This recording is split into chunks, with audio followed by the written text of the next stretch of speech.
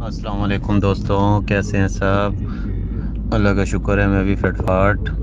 दोस्तों, आज मैंने सोचा ख़ुद को भी बंदा टाइम दे दे, क्योंकि हर वक्त काम काम काम, या बिस्तर या काम।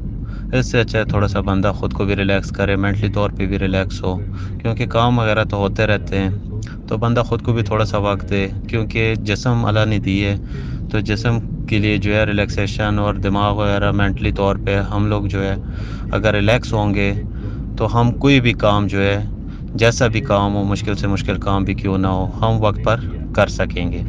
और वक्त की हम लोग पाबंदी करेंगे तो वक्त हमारे लिए जो है बेहतर साबित होगा। क्योंकि वक्त, जो बंदा जो है वक्त की कदर करता है, वो हमेशा कामयाब रहता है। और जो बंदा वक्त की कदर नहीं करता और ख़ुद को रिलैक्स नहीं रखता वो बंदा हमेशा जो है परेशानी में मुबतला हो जाता है। तो हमें चाहिए, हमें वक्त की पाबंदी करनी चाहिए और जो भी काम हो, जिस तरह का भी काम हो, चाहे मुश्किल से मुश्किल काम भी क्यों ना हो, उसको अगर हम वक्त पे करें तो वो मुश्किल काम भी जो है हमारे लिए आसान बन जाता है। हर दोस्तों सोचा कि चलो, काम वगैरह भी होते रहते हैं, अल्हम्दुलिल्लाह, जो भी काम होते हैं, कभी हार नहीं मानी, वक्त भी करते हैं। तो मैंने कहा, चलो थोड़ा घूम फिर भी ले, थोड़ा ख़ुद को भी टाइम दे, थोड़ा रिलैक्स हो जाए क्योंकि काम भी होते रहते हैं और ख़ुद को भी थोड़ा टाइम देना चाहिए।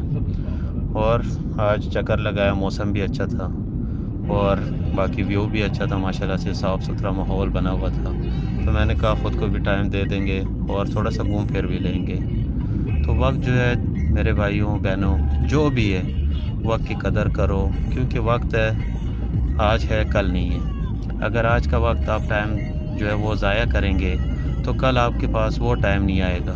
जो आप ज़ाया कर चुके होंगे तो लिहाजा जितना भी आपसे हो सके, जितना भी वो हो, कोई भी काम हो, किस तरह का भी हो, फजूल जगहों पे ज़ाया करने के बजाय उसमें जो है अपने टाइम की कदर करे और अपने काम में जो है मशगूल हो जाए, ताकि आपको वक्त की कदर हो जाए। और वक्त फिर आपकी कदर करेगा, आप कामयाब रहेंगे। किसी ने क्या खूब कहा है वक्त के पास भी इतना वक्त नहीं है। वक्त के पास भी इतना वक्त नहीं है कि वो आपको दोबारा वक्त दे सके। वसलाम